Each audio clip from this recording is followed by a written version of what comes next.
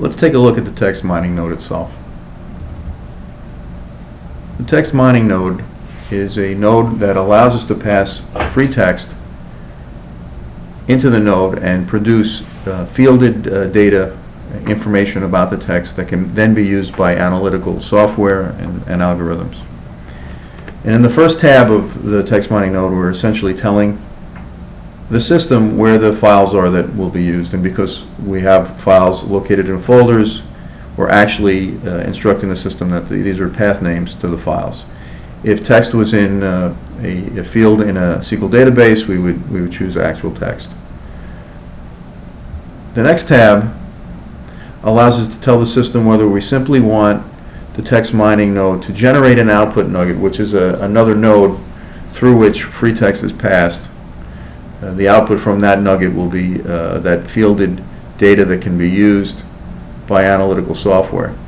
Or, and we'll be doing this in this case, whether we want to work interactively with the extracted terms and information so that we can build a, a customized uh, nugget that will be more effective for our application. Uh, the baseline uh, extraction technique is building categories. We're going to select that, but we'll be looking at the other two techniques as part of what we do.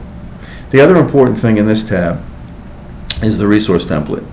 The resource template is the screen, uh, in a sense, uh, through which the free text is passed. And rules, parameters, and instructions are applied to the text as it comes in and uh, the, the categorical information, the terms, concepts, relationships, are defined using that screen. The modeler comes with a set of base templates, and they're a good place to start. Generally, though, you're going to want to uh, create a, a, a, a, specific template which you build upon a basic template, uh, one of the, the, the, default templates, and then save. So you can actually, and, and, and probably will modify your templates, and we'll see how we do that but it allows you to get a better uh, a, template that's more customized to your, your, your document set and your needs. In the Expert tab, we're going to be taking a look. The, there are variables uh, and parameters in here that can be changed. Uh, the default would include extracting non-linguistic entities, and I, and I point this out because what this essentially means is that as part of the extraction process, the system will look for dates, social security numbers, credit card numbers, location, uh, I'm sorry, locations are linguistic, uh, for um, uh, numbers, for uh, other non-linguistic entities that are contained within the text. And that can be very useful, especially if you're looking to do entity extraction. But here we're not going to be doing that, so I'm going to deselect that. And I'm going to apply it. And now we're ready to run the text mining node. We're ready to hit the run button on the text mining node. And what is going to happen now is that the modeler application is opening up um, the sub-application, which is the text mining interactive screen. And in a moment, what we'll see is the, uh, the next interactive palette, if you will, for uh, text mining analysis itself. And it's telling us here for that 100 records, and it did it very quickly because there's only 100 records. It's pulled out some of the data. And uh, the first thing I point out is in the lower left quadrant are the concepts or terms that are extracted according to the rules set up in that template we talked about, the total number of occurrences, total number of documents, and the type of term it is. The, the default templates come with a uh, set of types, including, for instance, down here, person and location and unknown.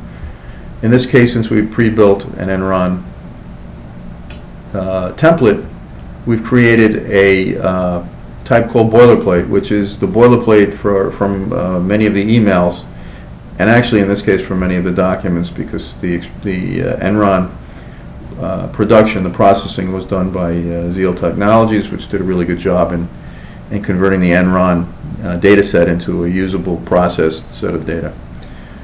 And, uh, but we don't want to use that as part of our analysis because it's not going to tell us very much or anything about the, the uh, true content of the documents. And we can sort on any of these and, uh, and get an idea. If you'll notice, the, a lot of the boilerplate, including this probably should be in there also, uh, is in the high occurring categories, and that's not uncommon. So this is the first view we get of the extracted text, these terms and phrases.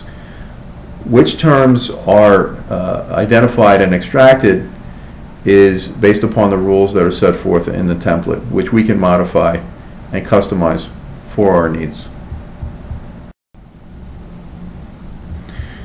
Now, in category building, which is the building of categories that will be used in that output nugget, uh, we simply can, uh, in the simplest case, tell the system to build from the, the terms that are generated below, and it will do that. We can edit uh, the, that, that building process and tell the system, for instance, which types we don't want included, and we can also tell it some uh, pretty advanced things about how we want the extra- extraction and the categorization to occur. And here I'm going to, for instance, create a maximum levels. These are subcategories within categories. And uh, we'll leave it at that. But now we're, we're ready to execute the build categories. Again, the system will do that. We're only dealing with 100 documents, so it's a very quick process. The text mining node is not made to analyze entire document sets. It's made to analyze sample sets and then use the output nugget, uh, leverage it across the entire uh, document set in question. So here we have a set of categories that the system has identified, applying its rules, some of which uh, uh, we have included as uh, in the uh, in the Enron template. But in a sense, it's using its rules, its knowledge of, of the terms, to and it's the the, the collection of terms that appear together in documents to to try to bundle those together. These are all modifiable, and as part of the process, one would generally modify these. And this is the category uh, uh, uh, derivation application, but it's only one of uh, three different things that can be done. And the next thing we're going to do is the text analysis application.